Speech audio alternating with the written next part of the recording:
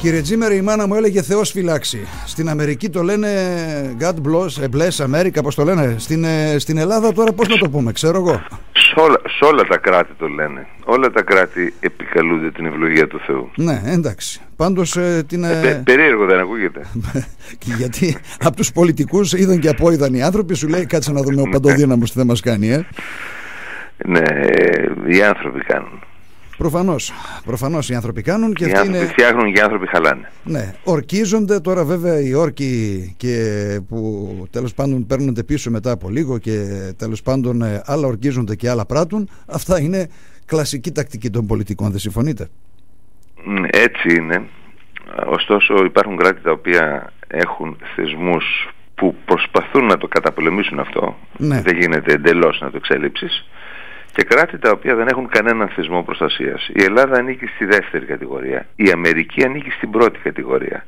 Σας θυμίζω ότι η Αμερική προβλέπει διαδικασία καθαίρεσης Προέδρου. Ναι, προβλέπετε Αυτή και που, αυτό. αυτή που παρολίγο να γίνει με τον Κλίντον για τη γνωστή αιτία. Μμμ. Ανόητη αιτία, Εντάξει. αλλά υπήρξε Αλλά αιτία διαδικασία. για αυτούς. Ναι, ναι. Ναι. Λοιπόν, για την Ελλάδα δεν προβλέπεται, ας πούμε, διαδικασία καθαίρεσης πρωθυπουργού Ναι.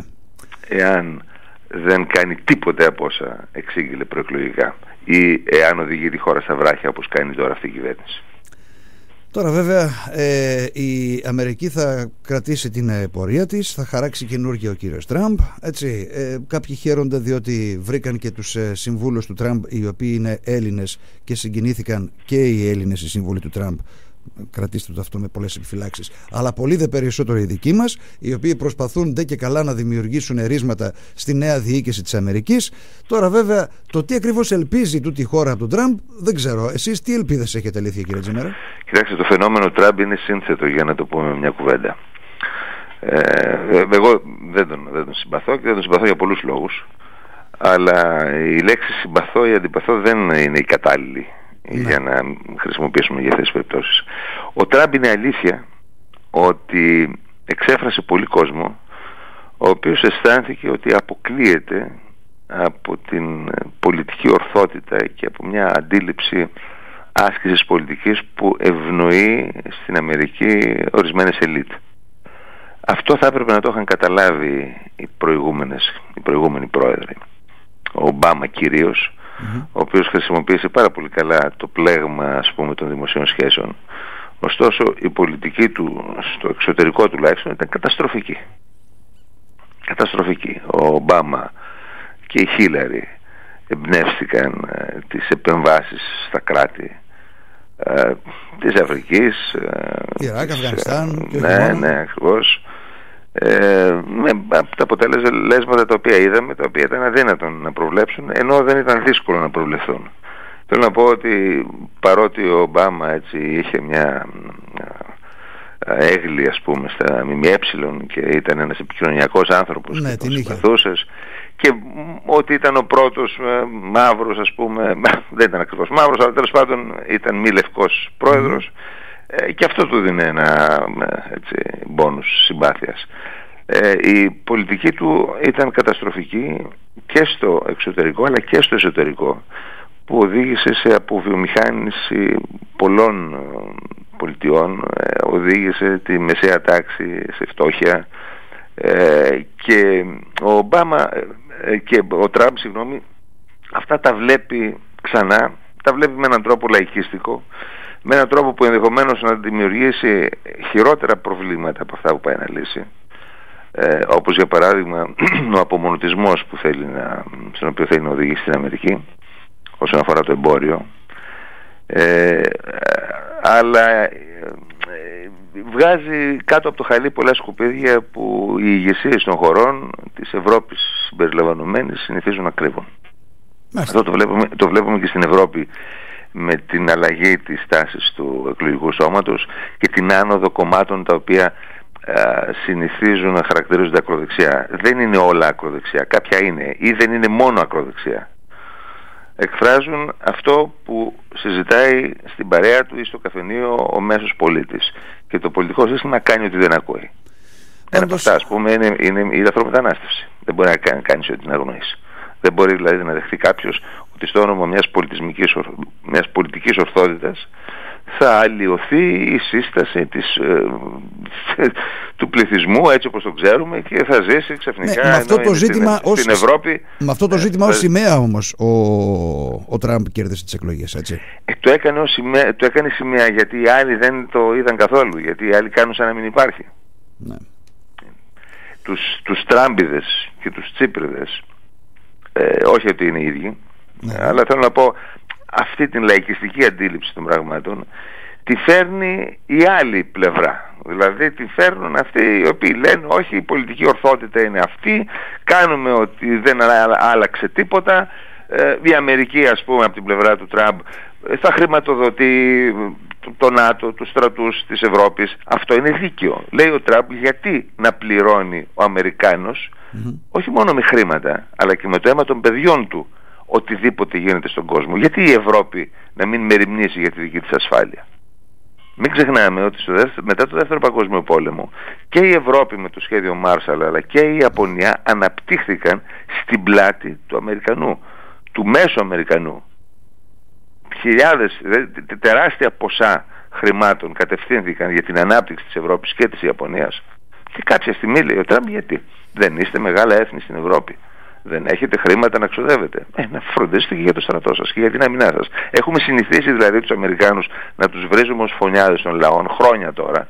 Αλλά έχουμε συνηθίσει οπουδήποτε γίνεται κάτι στραβό να πρέπει η Αμερική να βγάλει το φίδι από την τρύπα. Και πώς, στέλνοντας τα παιδιά της να σκοτωθούν. Σου λέει ο Τραμπ γιατί; Εγώ λογικό το βρίσκω.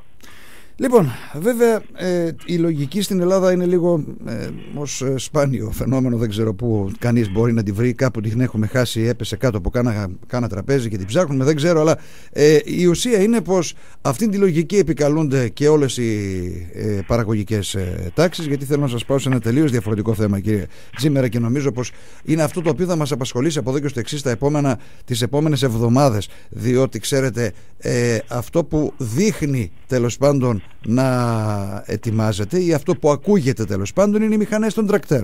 Για μια ακόμη φορά οι αγρότες είναι έτοιμοι να κατέβουν στον δρόμο. Τώρα ειδικά εδώ στην περιοχή μας, στην περιφέρεια Ανατολικής Μακεδονίας και Θράκη, και Θράκης τρομάξαν λίγο με το κρύο οι αγρότες και αναστέλουν τα μπλόκα, θα τα στήσουν από την ερχόμενη Δευτέρα και μετά.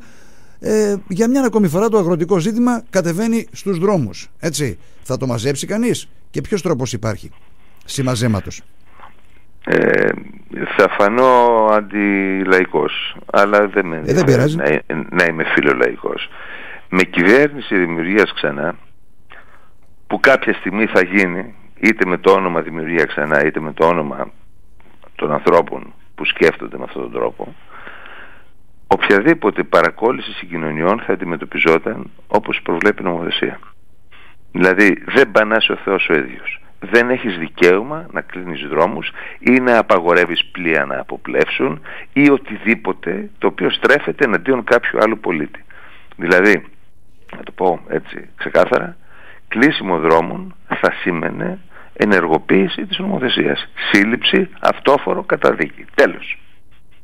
Τέλος. Όσο δίκιο και να έχει κάποιος. Αυτός ο τρόπος διεκδίκησης δίκαιων και το βάζω σε πολλά εισαγωγικά το δίκαιο είναι εκτός δημοκρατίας, είναι εκτός πολιτικού συστήματος έτσι όπως θα έπρεπε να λειτουργεί σε ένα σοβαρό κράτος. Τώρα το θέμα των αγροτών, να σας πω εμείς πώς θα το λύναμε. Όπως θα λύναμε το θέμα όλων των εργαζομένων σε μια χώρα. Δηλαδή με έχουν ρωτήσει πολλές φορές τι θα κάνατε για τους αγρότες; Και λέω απολύτως τίποτε. Όπως απολύτως τίποτε δεν θα κάναμε για οποιαδήποτε συντεχνία, για οποιαδήποτε ομάδα, είτε τοπική είτε επαγγελματική αλλά θα δημιουργούσαμε ένα τέτοιο περιβάλλον, δηλαδή, να το ξαναπώ, το έχω πει πολλές φορές, αλλά πρέπει να το ακούμε, με γραμμικό φόρο 12% και όλα τα έξοδα να αναγνωρίζονται σε φυσικά και νομικά πρόσωπα για όλους τους Έλληνες. Και εσύ θα επέλεγες τον ασφαλιστικό σου φορεα που μπορεί να ήταν δημόσιος ή ιδιωτικός εσύ θα επέλεγες πόσα θα δώσεις και θα έχεις παροχές ανάλογα με αυτά που θα έδινες. Τέλος. Και εκεί πέρα όποιος αισθάνεται ότι μπορεί να δουλέψει στην αγροτική παραγωγή θα δούλευε στην αγροτική παραγωγή με τις δυσκολίες της. Δυσκολίες έχει και να δουλεύεις σε ορχείο, δυσκολίες έχει να δουλεύεις και στη θάλασσα, δυσκολίες έχει να κάνεις και μια δουλειά να ανοίξεις και ένα μαγαζί. Ναι, αλλά δεν χρειάζεται, δεν χρειάζεται όμως έναν μανδύα προστασίας για ένα κάποιο χρονικό διάστημα έτσι, ε, έστω διότι αυτό θα προκαλέσει και το θάνατο του εμποράκου έτσι, γιατί ε, αυτό φαντάζομαι δεν θα το κάνετε μόνο για τους αγρότες όπως είπατε αλλά για όλους, είπατε όλες τις επαγγελματικές τάξεις σε πάση περιπτώσει και το θάνατο του εμποράκου και το θάνατο του αγροτάκου μέχρι να καταφέρουν να επιλέξουν και να καταλήξουν σε ένα αποτέλεσμα το οποίο θα είναι ασφαλές γιατί να προκαλέσει το θάνατο του εμποράκου και όχι την αναγέννηση της δουλειάς του εμποράκου; Εξαρτάται πώς είναι ο εμποράκος. Αν ο εμποράκος ανοίγει ένα μαγαζί ας πούμε μαζί με 800 άλλα και έχει 10 που κάμισε από τη μια και 10 παντελόνια από την άλλη και περιμένει με αυτά να ζήσει την οικογένειά του, καλώς θα προκληθεί ο θάνατος αυτού του εμποράκου. Αν όμως έχει ένα εξειδικευμένο κατάστημα ας πούμε, το οποίο στον καταναλωτή γλιτώνει χρόνο και χρήμα από το να ψάχνει να βρει ένα ειδικό προϊόν και δημιουργήσει το δικό του κοινό και δημιουργήσει συνθήκες τέτοιες ώστε κάποιος να πηγαίνει σε αυτό το μαγαζί για ένα συγκεκριμένο λόγο και όχι επειδή υπάρχει, πέρασε απ' έξω από τη βιτρίνα. Υπάρχει καταναλωτική ανάγκη δηλαδή. Ακριβώς. Ναι. Αυτός θα επιβιώσει. Αν ένας αγρότης θέλει να καλλιεργεί από το καφενείο ε, παίρνοντας τηλέφωνο τον Πακιστανό ή με το τηλεκοντρόλ ρυθμίζοντας τα, τα ποτίσματα αυτός δεν ξέρω τι ε, προοπτικές επιβίωσης έχει. Η αγορά είναι αυτή η οποία λέει ότι το προϊόν σου πουλιέται ή το προϊόν σου δεν πουλιέται ή πουλιέται ακριβά ας πούμε. Δεν γίνεται να αγνοούμε και αυτό ισχύει στην Ελλάδα δυστυχώς και στον δημόσιο και στον ιδιωτικό τομέα. Δεν γίνεται να αγνοούμε τις παγκόσμιες εξελίξεις σε μια εποχή που μπορείς να, να αγοράσεις, να παραγγείλεις οτιδήποτε από την άλλη άκρη του κόσμου μέσω του διαδικτύου και να σου έρθει με το ταχυδρομείο σπίτι σου. Δεν μπορεί να αγνοείς ότι ο κόσμος είναι ε, μια παγκόσμια αγορά.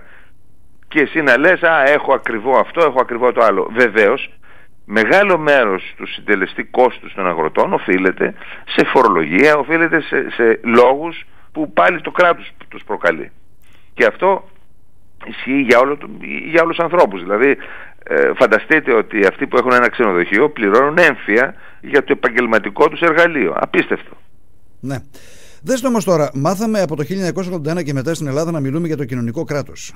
Αυτό το κοινωνικό κράτος το οποίο θεσπίζει μέτρα προστασίας, δημιουργεί συνθήκες τέτοιες, οι οποίες τέλος πάντων είναι αυτό που σας έλεγα προηγουμένως, ομανδία προστασίας του κράτους απέναντι σε οποιαδήποτε επαγγελματική τάξη.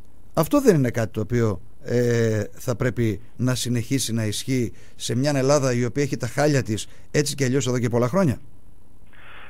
Κοινωνικό κράτος ε, δεν υπήρξε ποτέ στην Ελλάδα. Υπήρξαν τεράστιες παροχές οι οποίες πήγαιναν δίθεν για την ανακούφιση των αδυνάμων και οι οποίες κατέληγαν στις τσέπες των ημετέρων. Η Ελλάδα έχει το μεγαλύτερο ποσοστό του των δημοσίων δαπανών σε σχέση με τις χώρες της Ευρωπαϊκής Ένωσης που κατευθύνεται δήθεν για την ανακούφιση της φτώχειας και έχει τα μακράν χειρότερα αποτελέσματα ως προς την επίτευξη πραγματικά αυτού του στόχου. Κοινωνικό κράτος πρέπει να υπάρχει παντού και ο, ο κοινωνικός φιλελευθερισμός τον οποίο ε, υποστηρίζω λέει ότι βεβαίως πρέπει να υπάρχει αναδιανομή εισοδήματος διότι δεν θες να είσαι ο πλούσιος που θα βγει από την περίκλειστη και περιφρουρούμενη βίλα σου και να είναι ζητιάνης στο δρόμο ή να περπατάς πάνω από πτώματα ανθρώπων που πεθαίνουν από πείνα. Προφανώς. Όμως το τι θεωρούμε στην Ελλάδα κοινωνική δαπάνη είναι μια πολύ μεγάλη κουβέντα. Σωστά. Και εν πάση περιπτώσει αυτές οι δαπάνες πρέπει να είναι σχετικές με τη γενικότερη αντοχή της οικονομίας. Δηλαδή πρέπει να είναι ένα συγκεκριμένο ποσοστό του ΕΠ. Είναι πλούσιο το κράτος, θα είναι πλούσιες και κοινωνικές δαπάνες.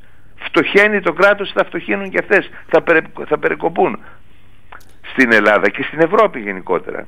Οδηγηθήκαμε εδώ και χρόνια την εποχή που η Ευρώπη ήταν ας πούμε η παραγωγική μηχανή ή μια από τις παραγωγικές μηχανές του κόσμου μαζί με την Αμερική πριν αρχίσουν να αναπτύσσονται οι άλλες οικονομίες και πάρουν πολύ μεγάλο μέρος της παραγωγής εκεί και τέλος πάντων ξέρουμε ε, όλα, όλες αυτές οι ανισορροπίες που προέκυψαν μετά την κατάρρευση της ε, Σοβιετικής Ένωσης. Είχαμε συνηθίσει λοιπόν σε παροχές και υπήρχε κατάχρηση των παροχών. Υπήρχαν νέοι οι οποίοι ερχόντουσαν στη δουλειά σου και σου λέγαν κοίταξε να δεις με έστειλαν από τον, ε, από τον ΟΑΕΔ αλλά πες ότι δεν, μου, δεν σου κάνω, γράψε ότι δεν σου κάνω. Για να συνεχίσω να παίρνω το επίδομα ανεργίας, ναι, ακριβώς. Θέλω να παίρνω το επίδομα ανεργίας, ακριβώς. Για έξι μήνες ακόμα, για έξι μήνες, για τρεις, για ναι, τρεις, έστω. Ναι. ναι, αλλά κάθε, να, να σκεφτούμε ότι κάθε ευρώ που καταλήγει στην τσέπη κάποιου ο οποίος δεν εργάζεται για αυτό προέρχεται από την τσέπη κάποιου ο οποίος δεν πληρώθηκε για τη δουλειά που κάνει. Το καταλαβαίνουμε αυτό. Δεν υπάρχουν χρήματα που πέφτουν από τον ουρανό. Τα χρήματα προέρχονται από τη φορολογία. Και όταν παίρνεις χρήματα από την τσέπη της εργασίας για να τα δώσεις σε άλλες τσέπες, ναι. κάποιες από αυτές δικαίως αξίζουν, αλλά κάποιες άλλες όχι, τότε δημιουργείς μεγαλύτερο κοινωνικό πρόβλημα από αυτό που πας να λύσεις. Γιατί θα οδηγήσεις στην ανεργία και στην ανέχεια την παραγωγική σου μηχανή. Είναι σαν να είναι ένα αυτοκίνητο βαριά φορτωμένο και δεν μπορεί να ανέβει την ανηφόρα και για να το ελαφρώσεις αφαιρείς εξαρτήματα από τη μηχανή και όχι αυτά που φόρτωσες απάνω ή ε, τους επιβάτες που έχουν μπει ας πούμε σε μια καμπίνα ενός επιβατηγού 15 άτομα. Λοιπόν, Εκεί είναι το πρόβλημα. Το παράδειγμά σας ήταν καθοριστικό και πολύ συγκεκριμένο. Σας ευχαριστούμε πάρα πολύ. Καλή σας ημέρα, κύριε Τζιμέρα. Καλή εβδομάδα.